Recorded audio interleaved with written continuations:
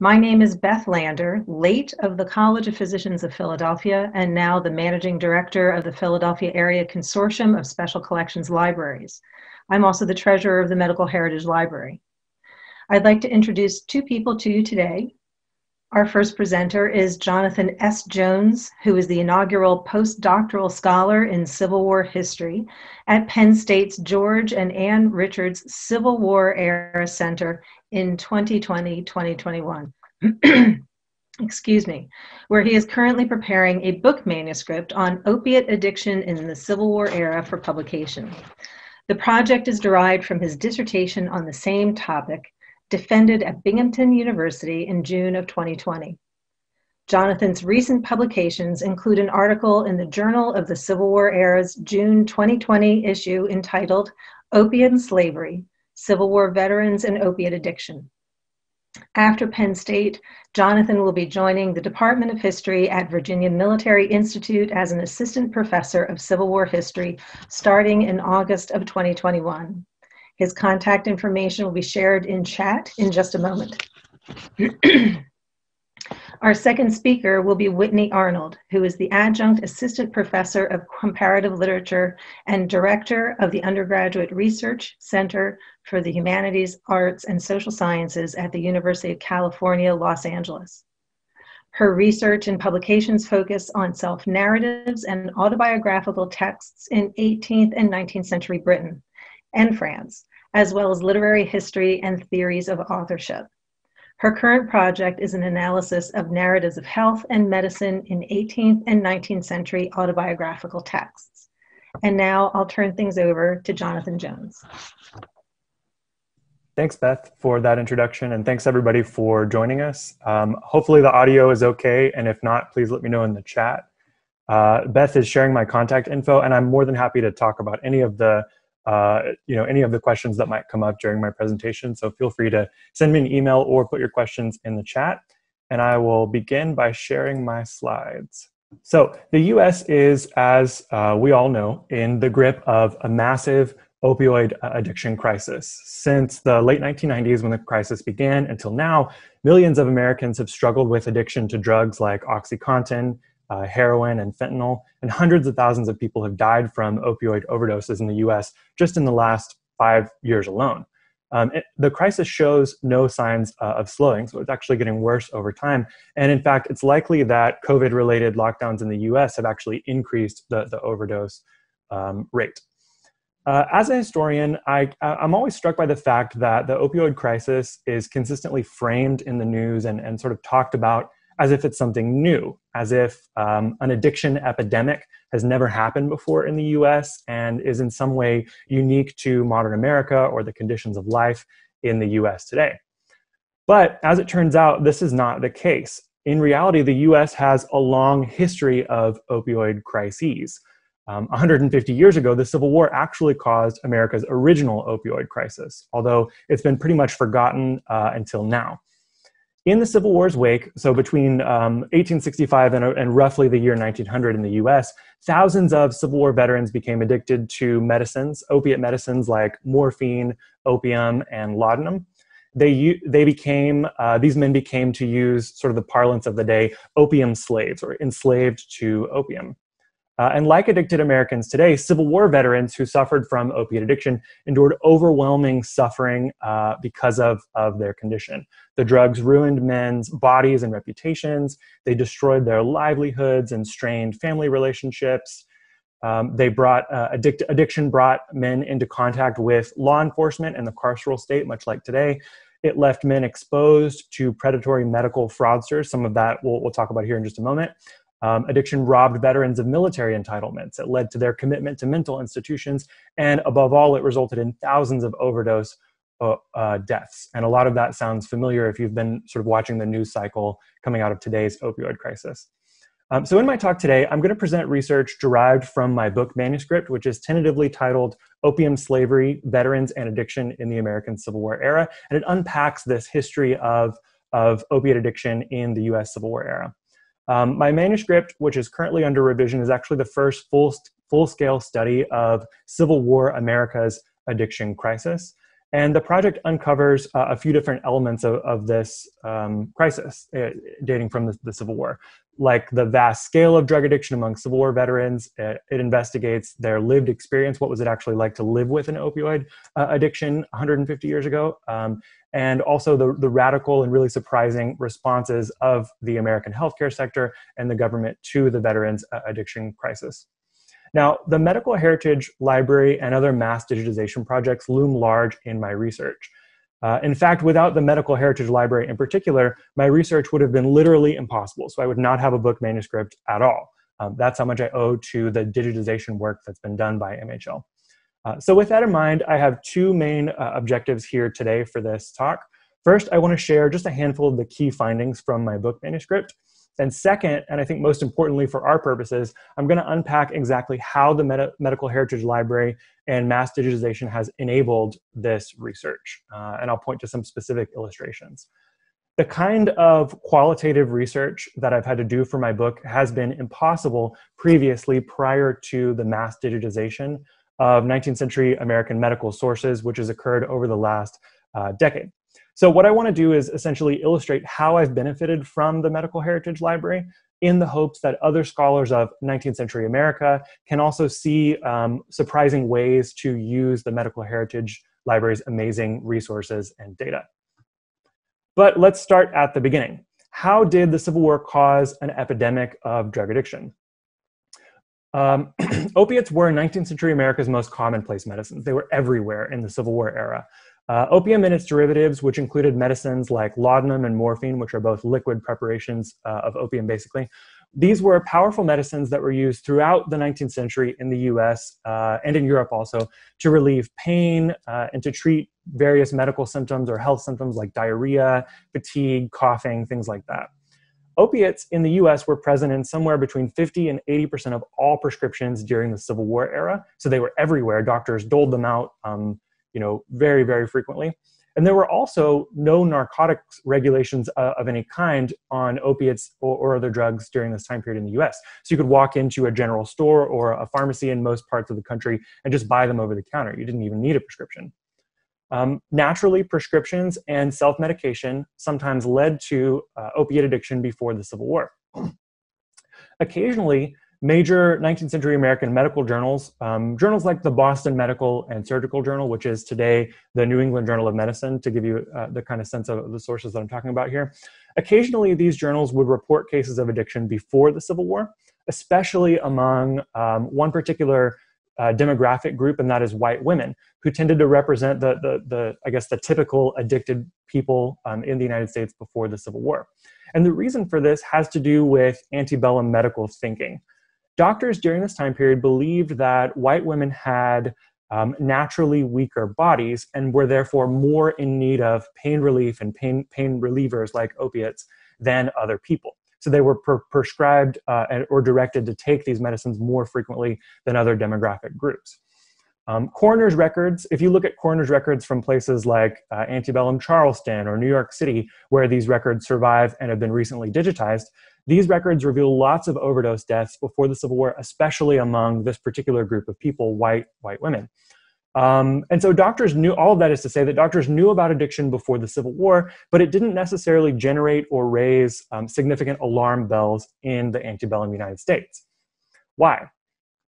The reason for this has to do with antebellum gender conventions. So a lot of the, the, the story that I tell in my book um, has to do with ideas about how men and women uh, should behave and how their bodies functioned.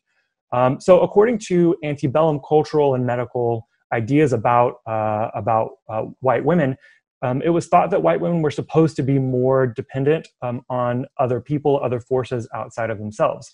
Thus, when they became dependent on opium, when opium um, came to animate their days, when they were addicted to it, uh, it was seen as like bad medically speaking, but not necessarily a huge violation of gender norms for the time period. It wasn't seen as a violation of the natural order. So, all of that is to say that before the Civil War, before 1861, when the Civil War broke out in the US, um, there were uh, some cases of opiate addiction, but these were fewer in number, and these cases weren't necessarily seen as hugely problematic because of who uh, the people that were addicted to opiates were, the demographic group. Now, all of that changed with the Civil War. During the Civil War, opiate use among American men went off the charts. It skyrocketed. Um, the, the reason for this is that the Civil War was America's biggest ever health crisis up to that point in time. As a medical historian, I think of the Civil War not just as being a, a conflict over over policies or a military conflict, but rather a con- or, or, a conflict over slavery, but rather um, a health crisis. Right? It, it, triggered this massive need for um, pain relievers and, and other medicines. Right? So military surgeons during the Civil War doled out massive quantities of opiates to cope with this unprecedented influx of sickness and injuries among soldiers. Uh, according to one Confederate medical handbook, which was digitized by the National um, Library of Medicine as part of the uh, MHL, opiates were, quote, the most indispensable drugs on the battlefield, important to the surgeon as gunpowder to the ordnance. And I think that quote really gives a sense of how ubiquitous these medicines were and how important they were uh, during the Civil War. During the war, morphine injections were used to dull the pain of, of amputations, like we see um, here in the image. And many men who survived amputations were naturally left in chronic pain. Therefore, they needed pain relievers for the rest of their lives. Um, opium pills were also used widely during the Civil War to suppress diarrhea. Um, opiates cause constipation, and so that was uh, a very important thing to do when you needed to keep men um, who were constantly suffering from diarrheal ailments basically on their feet and, and well enough to move as the armies moved around the United States. Um, some men also self medicated with opiates to cope for anxiety or depression. So these were widely used medicines during the, the Civil War by soldiers uh, and widely prescribed by surgeons. Now, naturally, lots of men got addicted to opiates, um, some men in Civil War hospitals during the wartime years, and others through self medication after leaving the Army and returning home. So many veterans got addicted, in fact, that immediately after the Civil War, alarm bells went up across the country. Um, doctors, public health boards, journalists, um, even temperance reformers witnessed this huge uptick in addiction among um, ex Civil War soldiers, Civil War veterans, as the armies demobilized and soldiers sort of spread out around the country. Some newspapers, like the New York Times, for example, in 1878, went so far as to label this crisis of addiction among um, former soldiers as an epidemic. So, to quote the Times, quote, the evil of opiate addiction is like an epidemic. It is in the atmosphere of post war America. It was a major public health problem then, just as it is now. So, to sum up sort of where we've been, this is how the Civil War created uh, an epidemic of, of drug addiction that hit crisis levels very soon after the war ended in 1865. But what does that have to do with the Medical Heritage Library and mass digitization? Here, for me, um, I'm sort of I'm sort of uh, maybe too much into the methodology here. I could talk about the methodology and the sources for you know for days and days. Um, but here's so so that is to say that here's where our story really gets interesting from my point of view uh, from an evidentiary and methodological angle. Among historians of the Civil War, it, it's not exactly a secret that some veterans became addicted to opiates, but until now, until the era of mass digitization, uh, this knowledge has been mostly contained or relegated to the footnotes of, of monographs about Civil War medicine. So, for example, during the progressive era, um, the early 20th century uh, which is the period when, in the United States, um, the federal government first implemented these really restrictive narcotics policies that we have um, the legacy of today. Uh, during the, the, early 20th century, some of the earliest um, public policymakers in the federal government to work on this problem, the problem of drug addiction, remembered uh, from their parents' generation that Civil War veterans had suffered um, opiate addiction at much higher rates than other people. So, in hindsight, these progressive era um, public policymakers writing in the 1910s and the 1920s dubbed this epidemic of, of morphine and opium addiction, they called it the soldier's disease. Now, if you read basically any book published in the last hundred years or so since the progressive era on Civil War medicine or Civil War veterans or the, the health crisis of the Civil War, basically all of these um, volumes have these sort of oblique footnote style references to morphine addiction. But again, this is almost always um, something that's like relegated to the footnotes. It's never been something that's that's investigated um, on its own uh, for its own merits, right? Rather than a sustained investigation of the phenomenon, um, these references are universally one-offs, and, and pretty much they're used to illustrate how supposedly backwards Civil War medicine was. Um, according to this line of thinking, surgeons were, were careless and they overprescribed opiates, and that's why um, veterans got uh, addicted. And that's essentially the work, uh, the extent of the, the work on this topic by scholars prior to mass digitization. No scholar before now uh, has ever been able to identify more than a handful of cases, and that has a, a lot of uh, a lot to do with why um, there's been so little research on this topic. And this is because only uh, a few case reports, medical case reports, describing addicted Civil War veterans were ever published in the major medical journals of the Civil War era. Uh, and these were the kinds of sources that were readily available to um, uh, historians of 19th century America and Civil War medicine before now. So, to give you an example, in the past, to research a topic like historical uh, drug abuse during the, the window of time that I'm looking at, historians had to uh, apply for a grant, get that grant, travel to uh, travel in person to a physical medical library like those at Yale or the College of Physicians of Philadelphia or the National Library of Medicine, you had to flip through uh, a medical journal like this one, which is from uh, the Boston Medical and Surgical Journal, and look for basically topical entries. These, this is sort of the easiest way to go about looking for uh, medical articles published in the um, uh, in the United States before mass digitization, uh, and that's how you theoretically would go about finding uh, finding out about like you know tuberculosis or you know any other kind of kind of medical problem theoretically like opioid addiction. The problem with this method, though, as I came to learn when I very first started this research several years ago, is that you won't find entries in these journal indices for things like opium addiction or morphine addiction or opium slavery. You just won't find that in the index. So, uh, an alternative ap- approach, a plan B, um, would be to flip through these Civil War era medical journals, again, journals like the Boston Medical and Surgical Journal, um, and kind of look manually for articles or, or, or little snippets uh, of text that deal with this topic. But the problem that you face with, with this approach is that these journals span, um, anyone that's worked with them knows that these journals span thousands and thousands of pages of text per year, um, times the, you know, times several hundred journals that were printed during this time period in the US. So this is kind of like looking for a needle in a haystack. Um, using this approach, looking through the indices or just flipping through the journals page by page, it would have taken decades and decades of research and a, a whole lot of institutional support to cobble together enough cases to, to, to support a monograph on the topic of opiate addiction among Civil War veterans.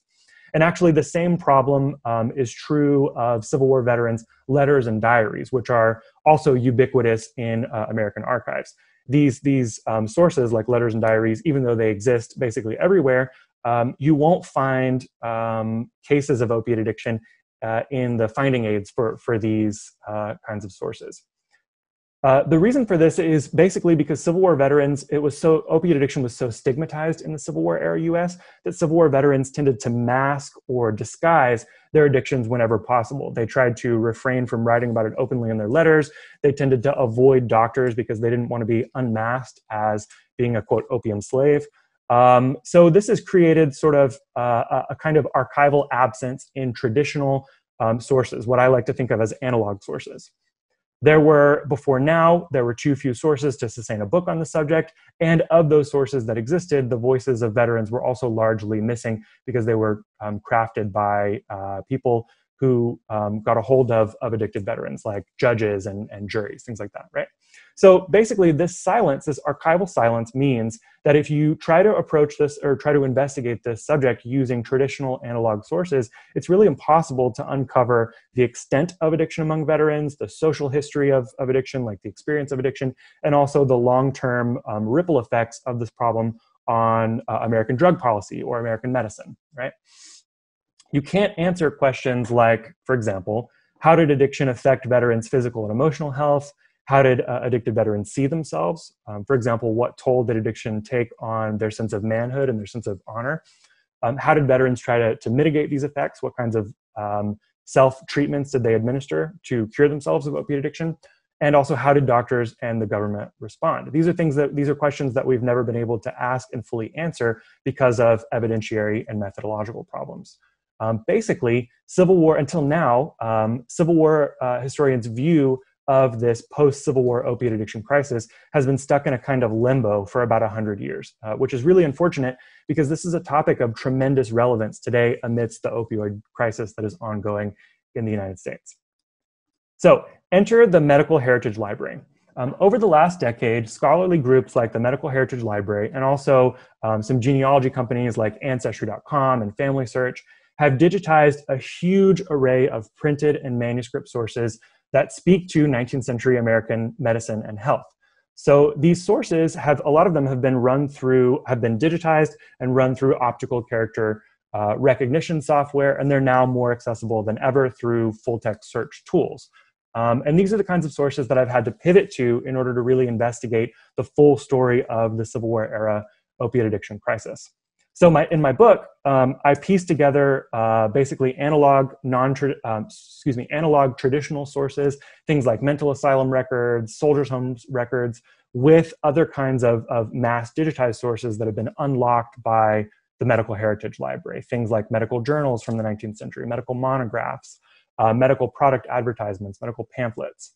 So um, I guess uh, I think the most apt example for me are um, state medical journals. So if you go on the Medical Heritage Library um, website, one of the major data sets uh, is the state um, medical journals um, uh, collection, right? And so one, if you want to explore, for example, how uh, local bodies, uh, local public health bodies in the United States or local groups of physicians responded to opiate addiction in their communities uh, among veterans, these are the sources for you. Uh, and again, these are sources that have been sort of um, before now um, not readily accessible to scholars before the era of mass digitization. But now, I mean, I can pull up a, a, a state library um, medical journal uh, on the the MLN um, the on the excuse me on the website and use you know it's as easy as typing in opium in the full text search bar and going through these these sources.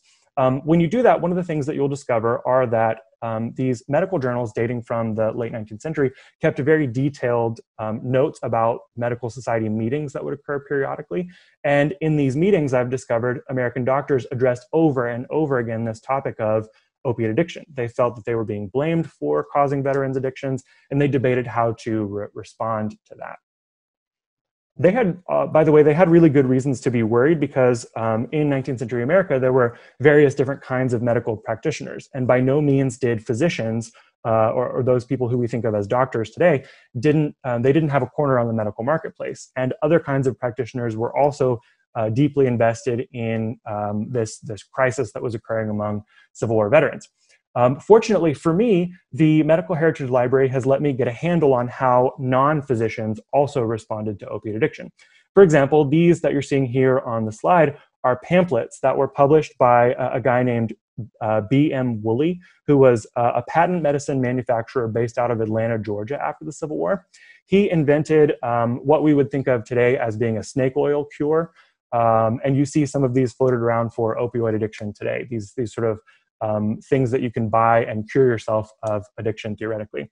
And so um, these were marketed by people like uh, Basil Woolley, BM Woolley, widely across the country um, in to, to Civil War veterans, um, oftentimes in pamphlet form. But here's the catch um, these pamphlets today are very, very rare they were sort of the Gilded Age version of spam mail. They were something that people would read and then throw away or burn in the fireplace. And so, as a consequence, they don't exist in very many archives. But fortunately enough for me, the Medical Heritage Library has digitized enough of these pamphlets that I've been able to piece together the story of, of how patent medicine makers responded to um, opiate uh, addiction.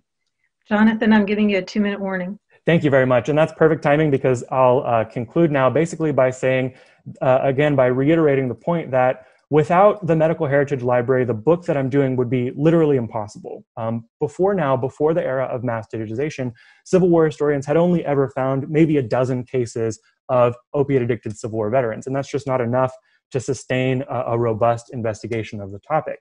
But now, in this period of mass digitization, I can do this kind of, kind of research um, in uh, much more efficient ways, and that really unlocks uh, a bigger story that, that I'm able to tell here. So, thank you. And now we will turn things over to Whitney. Wonderful. This has been a really wonderful conference, and I'm, I'm so pleased to be included and to hear all the great work um, that is being done. And, um, and I'd like to talk about um, the work that I've done with the monthly review. So, the title of my talk is Medicine in the Monthly Review A Large Scale Analysis of Medical Texts and Discourses.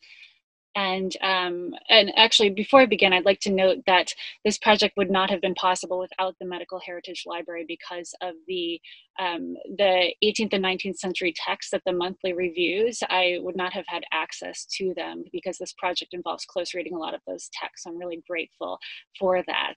Um, so in this presentation, I will provide more detail about the monthly review and its cultural significance. I'll detail the topic modeling efforts to analyze the monthly review corpus, and I will pose some preliminary insights from these topic modeling efforts about public medical discourse as presented by the monthly. So to begin, this project aims to uncover popular views of medicine and health in 18th and 19th century Britain through the periodical The Monthly Review, which, true to its name, was published monthly from 1749 to 1844. Roy Porter, among others, has pointed out within his realm of medical history the need to recover non specialist views of medicine and health. And you can see um, uh, well, and I'll talk about how the monthly indeed reveals popular portrayals of medical knowledge. The monthly participated in a public discourse of science and medicine. When it was founded in 1749, members of the public regularly attended medical lectures, demonstrations, and exhibits, as you can see here. Uh, scientific societies sprung up across the nation, newspapers detailed scientific advances, and medical books and journal articles proliferated. And also, medical advances inspired a wide variety of cultural productions, like Mary Shelley's Frankenstein, famously. So, as, as Roy Porter notes here in this quote on the slide, being familiar with medicine was not an individual and private matter, but integral to the public role of the well informed, public spirited, and responsible layman. So, in, addition, when the publishing industry began its rapid expansion in the latter half of the 18th century, medical publishing, and this was publishing for both specialists and non specialists, flourished. And, and this is where the monthly review comes in. So, first appearing from uh, in May 1749 and then continuing until December 1744, the monthly review soon gained widespread popularity and, with its format and content, set a new standard for review journals. In comparison to other popular journals at the time, which occasionally contained lists of published texts or occasionally reviews of published texts along with many other items, the monthly review consisted solely of reviews of published texts. By the end of the 18th century, it was the most widely circulated periodical of its day, and James Boswell noted in his Life of Samuel Johnson that King George III of England specifically asked Samuel Johnson for his opinion of the monthly review. Booksellers often quoted from the monthly to sell their wares, believing the monthly to be very influential. And many accounts exist of authors' preoccupations with their reviews, the reviews of their work in the monthly. Among its subscribers, the monthly counted uh, such notable uh, leaders of government and prominent cultural figures like Edward Gibbon and Robert Southey. And its authors included Tobias Smollett, who um, then launched the, the Critical Review, a, a competing journal, uh, Isaac Disraeli, Oliver Goldsmith, David Garrett, and many others. Garrick, excuse me. In addition to being culturally influential, the monthly has proven to be a valuable record and archive of 18th and 19th century textual production due to the editor's stated aims of reviewing every published text. A note in the 1749 edition asserts, and you can see this on the slide, we propose for the future to register all new things in general without exception to any on account of their lowness of, of rank or price. So while the editor's aims of reviewing every published text ultimately proved impossible due to the rapid expansion of the, the publishing industry, over the course of the monthlies, almost 100 years and over 140,000 pages, it provided records of thousands of texts that are currently outside the scope of much of scholarly analysis. So the monthly's self-proclaimed role as a comprehensive archive and recorder of knowledge proves useful in analyzing medicine in its pages. Its reviewers included noted physicians and reviews of medical texts, which were geared towards both specialists and non-specialists, proliferated. So of, of Everard Home's practical observations on the treatment of strictures in the urethra, which you can see here on the left, for instance, the reviewer of the monthly recommends it as a specialist text to quote, that class of readers for which they are designed, end quote. Whereas the reviewer of George Wallis's The Art of Preventing Diseases advocates for clearer explanation so that all readers may understand the text. So, because the public often gained familiarity with medical texts solely through these reviews, the monthly had great power to influence public perceptions of the text and of the knowledge contained therein. Thus, due to the monthly's prominent place in British literary culture, analysis of its medically oriented texts and topics can valuably shed light on characteristics of popular medical discourse in the late 18th and early 19th century British public sphere. However, close reading, its over 140,000 pages, would be a formidable task. So, so for um, reference, this would be the equivalent to reading over, uh, over 280 different 500 page novels. Um, but this is where digital tools and machine learning provide assistance. So this paper, with the, with the help of some wonderful UCLA collaborators, topic models the entire monthly review corpus by page. Through statistical topic modeling, we can read, and I put read in quotes, all 140,000 plus pages of the monthly review by generating topics, which are derived from contextual word co-occurrence patterns in the text, uh, essentially words that are regularly grouped together. Matthew Jockers and David Mimno have also characterized topics as themes, and I think this is another helpful way to think about topics, and I'll show examples in, in just a minute. Furthermore, the topics in the monthly directly identify critical discourses and they indirectly reflect the text themselves. Through topic modeling, we can discern the presentation and prevalence of various medical discourses in the monthly and map not only these discourses, but also how they fluctuated over the course of almost 100 years. So to go into a few technical aspects, um, the first part of this topic modeling experiment used the latent Dirichlet allocation or, or, LDA topic modeling algorithm using the Mallet software package to fit 100 topics to the data set. And you can see the data set here was 246 volumes, over 140,000 pages, and over 20 million words. And then from the resulting 100 topics, there were four specifically uh, medicine and anatomy related topics, which I include here. Um, so you can see, for instance, that topic two seems to relate more to medical practice, while topic three relates more to anatomy. Yet while the topics are interesting, they're still very general. So then in the second part of this experiment, uh, uh, the second part of the experiment isolated the monthly review pages that specifically contributed to these four medical review topics, including only the pages containing proportions greater than zero of one or more of these four medical topics. So you can see that the resulting data set consisted of 27,000 pages and over 4 million words. So, one strength of examining the monthly review through topic modeling, as opposed to limiting the examination to reviews of medical texts um, in general, as if you would, you would close read it and look for only the reviews that were of medical texts, is that topic modeling brings to light medical discourse in all reviews, so of medical and non medical texts. For instance, in an 1840 review that examines William Robert Wilde's narrative of a voyage to Madeira, which is pictured here, uh, which may just appear as a simple travel narrative, in fact, Wilde was a medical practitioner, and uh, he, he includes in the text, among other remarks, his observations on an Egyptian medical school and his corresponding recommendations for British medical education. And you can see his Uh, a quote here. Then another strength of topic modeling the monthly review is that it allows us to view larger trends that we can then complement with close reading methods. As is at times the case with methods of digital analysis and distant reading, these methods prove useful in identifying larger trends or characteristics that may not be visible to the human eye. And while they may not provide definitive conclusions, they can direct us to areas for further investigation. So it's in the spirit of investigation that I outline the following trends in the monthly's medical discourse that were suggested by the topic models. Taken as a whole, they shed light on public medical discourse as archived and transcribed by the monthly. So in the monthly, the focus on pathology is evident, with disease being a prevalent term. Topics focusing on both general disease and specific ailments are included here. The words in these topics reflect diseases attracting widespread attention in the 18th and 19th centuries, and I want to focus on two of these topics. You can see that topic six concerns what we would now call tuberculosis, and topic seven concerns smallpox. And then we can map these topics over time to, review, uh, to reveal their presence in the monthly's discourse. So here you see topics six and seven and their fluctuations over time.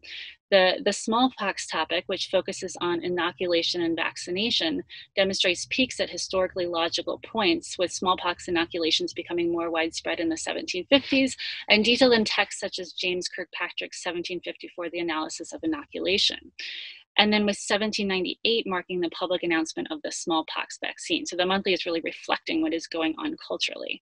Um, whereas tuberculosis is often associated with the Romantic period in literary scholarship, the topic's prevalence throughout the monthly shows its continual presence in public discourse.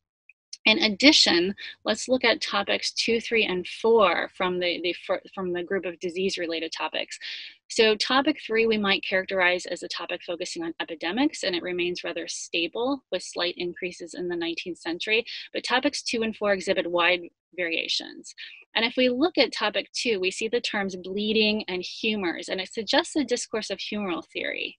And indeed, if we close read these pages, the, the pages that contain the highest percentage of topic two, they include a 1759 review of William Hillary's observations on the changes of the air, which addresses both the acrid humors and the morbid humors and a 1751 review of Theophilus Lobb's Medical Principles and Cautions that gives preference to the effects upon the humors instead of upon the intestines. So the drastic decrease in this topic over time presumably reflects the cultural shift away from theories of the humors.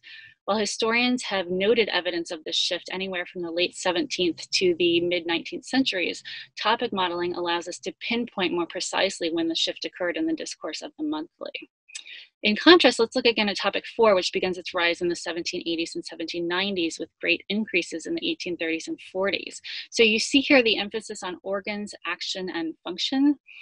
And this suggests a localized concept of disease, with disease no longer identified by holistic symptoms, but observable by localized signs. And scholars have argued that this localized pathology gained ground in the early 19th century um, as the monthly's pages contributing to this, uh, uh, sorry, gained ground in the early 19th century and the monthly's pages contributing to this topic, both, both show this but also problematize this. Because if we look at an 1836 review for instance of Yves Frédéric Dubois' Traité de pathologie générale um, or treatise of general pathology we see that the reviewer promotes this this localized concept of disease while also faulting Dubois for presenting the older non-localized concept of disease. So the reviewer notes and I'll, I'll read the quote in investigating the nature of disease it is as necessary to examine examine into the condition of the organs as into the derangement of functions which they exhibit. The latter cannot, the latter cannot with propriety be um, considered as the author has apparently attempted independently of the former. So the monthly here not only documents the increasingly prevalent discourse of localized disease, but it points to contemporary debates and disagreements surrounding the topic, all of which contextualize the narrative of scientific change. Then I want to uh, share one more example. So um, the topics also suggest intriguing trends with regard to the practice of medicine. The topics included here are the three medical profession related topics um, that the topic model generated, as well as their, their changes over time. I've numbered them starting with eight to distinguish from the, the seven disease uh, related topics we saw earlier. So you can see that while topics 9 and 10 remain relatively stable, with topic 10 increasing a bit in the late 1830s, topic 8 declines drastically over the course of the monthly review. And a clue to these differences is in the topics themselves. So while topics 9 and 10 address the medical profession more broadly in terms of its larger professional and, um, and academic structures, topic 8 suggests a focus on patients and their treatments with the words cases, with what looks like cafes, but is most likely or, or is an OCR error um, resulting from the long S in the 18th century. So it's again cases and the word remedy. So this decrease in patient-focused topic 8 is even more intriguing then when compared with topics 11 and 12 included here and mapped over time. So like topic 8, topic 11 also suggests a focus on the patient, and its terms such as time, hours, and violent point to a more narrative structure oriented towards case histories. So this is intriguing. If we look at the pages that contain the highest percentage of topic 8, the patient focused topic, we see this, this focus indeed on patients' accounts and case histories. We can see um, one of the pages in topic eight, for instance, concerns uh, the 1786 review of Henry Fearon's A Treatise on Cancers. And you can see in the quote here that the slide that the review, or uh, you can see in the quote here that the reviewer judges Fearon's methods regarding the treatments of cancers as a success because of the individual case studies that Fearon includes. So this is the evidence um, that he cites as successful. In the preface of the third edition of the text, Fearon himself adds, um, notes that he has made the third edition even more perfect by the addition of several important cases. Then concerning, concerning topic 11, the pages in this topic are narrative case histories, with one of the top pages, for instance, being this 1750 review of John Huxham's an essay on fevers. You can see here the narrative that he provides of the, the eminent surgeon who fell into a slow fever. So, significantly, then, the two topics, 8 and 11, that draw attention to individual patients and ailments decline notably in the 19th century, which suggests a shift away from patient focused narrative discourse in the monthly review what's interesting, one thing that's interesting in his linguistic analysis of the, the specialist periodical, the Edinburgh Medical Edinburgh Medical Journal, Dwight Atkinson observes that whereas the journal's mid 18th century reports tended to present singular cases in a narrative structure, its later 19th century reports often presented multiple cases together in more abstract and quantitative terms. So the monthly's topics reveal this shift that Atkinson is describing on a large and public scale, um, expanding Atkinson's analyses of practitioners and specialists by suggesting that a larger cultural change evident in the depiction of medicine in the non-specialist sphere as well the monthly is addressing. So, so in conclusion, the monthly really helpfully provides a record of almost 100 years of reviewing and publishing. And examining the monthly's culturally influential text sheds light on public discourse about medicine and health in late 18th and early 19th century Britain. Topic modeling proves to be useful in revealing the monthly's trends in its writing about medicine, as well as in the text that the monthly reviewed. And the trends that I've noted in this presentation have pertained to specific diseases, theories of medicine and pathology, and narratives of illness or case histories. So I would like to give special thanks to the UCLA Digital Research Accelerator, as well as uh, specifically Benjamin Niedzielski, Nick Schweiderman, and Tara Jones. And I've included my contact information here, and I, I welcome questions and comments. Thank you. I'll stop sharing.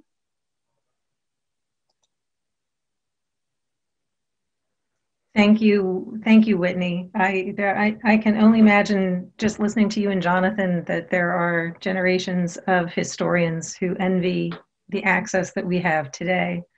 Um, Jonathan, there are an, a couple of questions for you. First question is how much uh, medical opiate administration increase I'm sorry. How much do you think the um, increase in opiate use among white women uh, increased the death rate during the antebellum period? I made that's a, that. That's that's a good question. I think so. So I think I understand um, what the question is asking, and I'll say that I think that um, one of the things that uh, I've also, you know, one of the digitized resources that I've also really benefited from um, are coroner's reports. There are a couple of um, pre-Civil War cities, like I mentioned in the in the presentation, um, New York City and Charleston have these um, amazing uh, coroner's records that uh, where coroners investigated suspicious deaths, including lots of women who overdosed on laudanum and, and opium and, and um, other opiate medicines, right? And so um, these kinds of records speak to a really high death toll. For example, uh, uh I quantified um, a range, like a 10-year range in the uh, between the mid 1840s and mid 1850s of overdose deaths in New York City, and of like 1800 or something about 1,800 um, recorded deaths, like 5% of them were um, opiate overdoses, and the vast majority of those were um, white white women. And it's it, you know it's hard to tell some of the demographic factors, like their class, for example. Um, but uh, um, oftentimes in these coroners reports, their race was mentioned, their sex was mentioned, um, or you can tell by by the person's name. So these are another example of mass digitized sources that, that have really helped me peel back the layers of this topic. Like before mass digitization, um, it was known to scholars that people occasionally died of opiate overdoses, but who those people were, we didn't know. Um, and so mass, mass digitization has really helped um, uh, shine, a, shine a light into that. Um, uh, Jonathan, another question um, asks how Civil War veterans were taking morphine. Were they doing it in a consistent manner and were they smoking it? Was it oral? Was it intravenous? That's a great question. The the uh, all the above is the short answer. um, so well, all the above except for smoking, I will say. Um, so for um, most of the 19th century, until you get into the the very the last couple of decades of the 19th century, um, uh, um, most Americans, um, people who were born in the United States, did not smoke opium. opium smoking was introduced into the West Coast in the mid century, and it wasn't until the late 19th century that um, uh, non-immigrant Americans started smoking opium, basically. So most Civil War veterans who uh, were addicted consumed their drugs every day through things like injections. They would uh, inject themselves with morphine, and you could buy, uh, again, you could buy a bottle of morphine at your local general store. You could order it in the mail. You could buy um, a mail, uh, you could buy a, a, hypodermic needle kit for like a dollar in the mail. Um, I think Sears at one point actually carried these kits. So if you look at an old Sears catalog, you can find them. Uh, that was one way. I think the more common way that, that people consumed, uh, Civil War veterans consumed these drugs were opium pills. Um, at one point, I tried to sit down and, and quantify the, the kinds of ways that people um, consumed opiates, and that's really hard to do. But um, uh, the bottom line is that most people, uh, most Civil War veterans, would actually swallow opium. Uh, and so, one of the contemporary descriptors for um, opium addict was opium eater back then, literally because they would oftentimes eat um, opium pills, and also you could you could buy um, morphine in pill form back then too. So very little opium smoking, but lots of oral uh, and injection uh, consumption. And what, one other question for you, Jonathan, was the rate of alcoholism higher or equal to or lower than opiate addiction? Much higher. Oh, among much, Civil War veterans. Yeah, among Civil War veterans. This is one of the interesting things. Um, we we don't have a, a good um, really rich study of alcoholism among Civil War veterans yet. It's another one of those topics where you have a, lot of one off references in history books about the Civil War to soldiers drinking a lot to cope with the job, or veterans going home and becoming alcoholics and getting thrown in jail for that. Um, but we still lack uh, a really uh, detailed, sophisticated study of, of what that meant for veterans. Um, uh, but with that said, we do know that the alcoholism rate among all Americans was vastly higher than the opiate addiction rate. Um, there's a scholar named David Courtwright who, a while back, um, went and quantified the addiction rate, uh, and it was um, about three times lower, I think, uh, if I'm remembering his numbers correctly, than um, the current addiction rate is in like New York State, for example. So, um, first of all, many less people were addicted to opioids back then as now, and um, back then. Uh, vastly more Americans were addicted to whiskey and, and other forms of alcohol than opiates. But with that said, um, the American government uh, doctors they were terrified about the opium problem because it was um, something that uh, uh, had a lot of cultural baggage around it that was more um, more even even more controversial in my opinion than the alcohol problem. That's a long answer to a short question but uh, a lot more alcoholism but opium addiction was really really bad. Whitney i'd like to ask you how you came to study medical texts um, so yeah well i started out analyzing the monthly review because i was fascinated in the sort of um, paratextual elements of text. So not only what is in the text but what is said about the text. Mm-hmm. um, and i came to the examining the medical aspects because of my other work on autobiographical texts.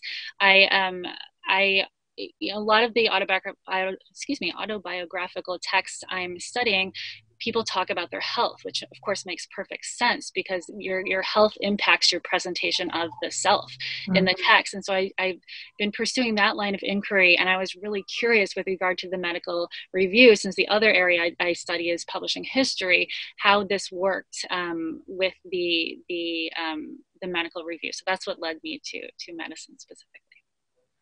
Another question, um, and, and this comes from Kim Adams, who's one of our moderators and who is not a specialist in this period. How influential was the monthly review? How widely read was the publication? And how influential was it, particularly in medical discourse? Great question. So it was, it was very widely read. Um, to the point well so it's interesting right? We may think about what was read at the time because of course not all of the population was literate. It was it was a subsection of the population. So and, uh, not all the population could afford to subscribe to the monthly mm-hmm. review.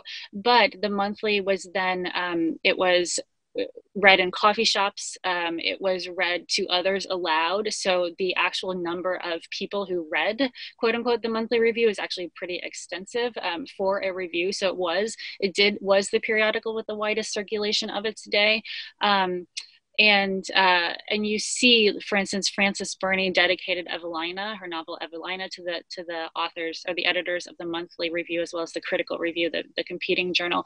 And you just see in a lot of um, notable authors of the day preoccupations with the monthly, like, oh, has the review come out? Has the review come out? So they're wondering how their work is going to be reviewed. And then with regard to um, medicine, it, it's interesting because most of the readership was not reading these actual medical texts. They were reading these descriptions of the medical text. So in that way, the monthly was had a lot of power to influence public discourse about medicine and what was being published. And um, the, of course, there were a number of specialist medical journals at the time, and studies have shown that in the more more general journals like the Monthly, that that uh, reviews of medical texts tended to go down over time, especially into the, the 19th century, as they sort of focused on other things and, and figured that medicine was the domain of specialist journals. But the Monthly, if we topic model the discourse, we can see that actually the Monthly's reviews of medical texts and discussions of medicine and health did not really drastically decline. So the monthly is interesting in that way, in that it, it kept up its discourse of medicine. And this was how uh, a number of people consumed the medical texts that were being published. Thank you. I have one last question for, for Jonathan. Um, how did the Civil War related opium crisis relate to anti Chinese propaganda and legal efforts in the late 1900s, or probably late 1800s? This is uh, another really good question, and it's one that I'm still still unpacking uh, as I as I revise uh, my book. But basically, the, the bottom line is that um, when we think, sort of in hindsight, you know, um, opium addicted person in the 1800s, our minds tend to jump to um, these sort of pop culture images of of Chinese immigrants smoking opium in like a, an opium den or an opium joint in Chinatown in New York City or San Francisco, right? And so, uh, towards the reason that we think that is because towards the the latter half of the 1800s, there was a lot of of um, among white Americans popular um, fascination and also, I guess, like horror at um, the the the uh, alleged problem of, of Chinese immigrants smoking opium in these these um, spaces, right? And so um, basically, what that's done in hindsight has made us think, sort of like when we imagine back into the 1800s and we try to think about opium in retro uh, opium addiction in retrospect, we tend to think that all um, uh, Americans who were addicted to opium were also opium smokers. Um, in reality, that's not not true. Uh, the reality is that um, Chinese opium smokers represented a minority of the people that were addicted to opiates in the United States back then but um, their their influence was really important on like white discourse about the problem because um, for like decades and decades american missionaries american doctors wrote about this problem of chinese opium addiction both in china and in uh, places where chinese immigrants lived in the united states. And they uh, wrote about like how morally wrong um, opium smoking was and how it uh, uh, one of the, the phrases that they would often use is that opium smoking degraded the person. And what that meant is that it made them a bad person, like morally bad. That bled over into the medical discourse about Civil War veterans who injected morphine. They all of a sudden took on the, the characteristics of the Chinese opium smoker.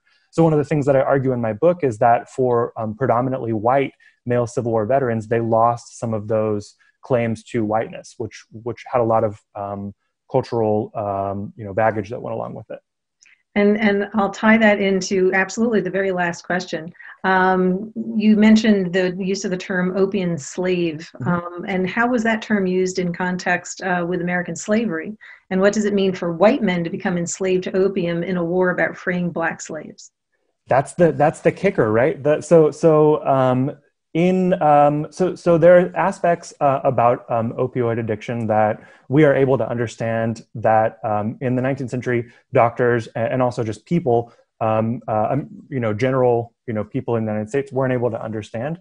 Um, and one of the, the things that they uh, that we use today that they didn't necessarily use very often is the word addiction right? And so um, but they understood the concept. So they were sort of searching around for a way to describe what they were seeing, which was addiction without the word addiction. And so they settled on this descriptor of slavery to opium, opium slavery. Um, they got it basically from uh, chattel slavery in the South and also from the temperance movement, which liked to describe people as slaves to the bottle, which is a, a phrase that probably a lot of us have heard. Um, and so that influenced, um, I forget where I'm going with this, but that influenced the way that people thought about opium uh, white Civil War male um, opium addicts, right? It was thought that, for example, um, to be uh, a black person enslaved in the South before the Civil War was to be, you know, it was thought that you were dependent on your master. That was one of the tropes that came out of slavery, um, literal slavery. Well, that carried over into opium slavery for white men. And so, again, back to this idea that being called a slave when you're actually a white man in an era uh, of slavery and emancipation is basically an insult. It's, it degrades your whiteness, it degrades the, the, your ability to say that you, know, you are um, a white man. And so um, it was a cultural construct that sort of chipped away at opiate addicted veterans' masculinity and their whiteness. Well, thank you, Jonathan, and thank you, Whitney, for wonderful presentations